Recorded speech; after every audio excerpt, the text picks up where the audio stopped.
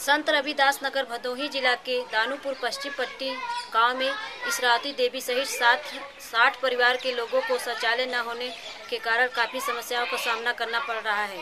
मैं केसा देवी ये है मेरा समुदाय। आपके यहाँ शौचालय है? नहीं। आप शौच के लिए कहाँ जाती हैं? बाहर जाई तो मैडम समझ कि अरे डाड़ी मेरे समझ चक्रोटे में सब बैठा था खेत में नहीं बैठ पा करे खेत में बैठे समझ गाड़ी देते हैं सब। जहर मेहरारू जात और मन से धुओ जात हैं समझ ला लाज लगा था सब उठ के चला आवत है। कहाँ जाए बैठे उठे।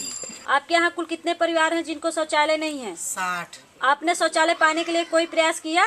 हाँ ससुर गवा रहे हैं तो कहन कि आज देव काल देव ऐसे ऐसे करें। कहन चमरोटी वाली देवे नहीं करब मेरे यहाँ शौचालय न होने की वजह से बहुत दिक्कत होती है। यहाँ जगह का अभाव है।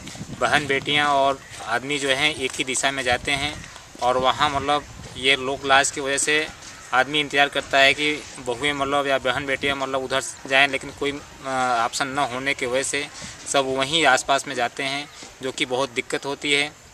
हमारे यहाँ कुल मतलब पचास साठ परिवार होंगे मतलब जिनके शौचालय। मैंने शौचालय पाने के लिए कई बार प्रयास किया अपने ग्राम प्रधान जी से कहे सेक्रेटरी से कहे और भी अपने सगे संबंधियों से कहे लेकिन अभी तक इसकी कोई मतलब व्यवस्था नहीं हो पाई। मतलब आपके यहाँ शौचालय है? नहीं। आप शौचालय के लिए कहाँ जाती हैं? खेती में। आपके यहाँ शौचालय न होने से क्या दिक्कत है? लेटरिन बाथरूम करने में दिक्कत होती है। खेते में जाए तो वहाँ सब गाली देते हैं और वहाँ जहाँ जाते हैं पुरुष बैठ जाते हैं और लाज के मारे उठ के खड़े हो जाते हैं। शौचालय बनने से आपको क्या फ़ायदा होगा? बाहर नहीं जाएँगे घर में ही बैठेंगे। आपने शौचालय पाने के लिए कोई प्रयास किया? प्रधान जी से कहा प्रधान जी कहें कि चम रोटी वाले नहीं देंगे।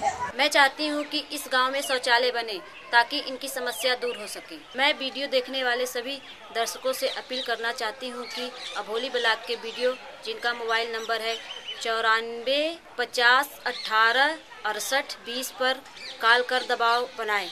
मैं केसा देवी उत्तर प्रदेश से, इंडिया अनहर्ड के लिए।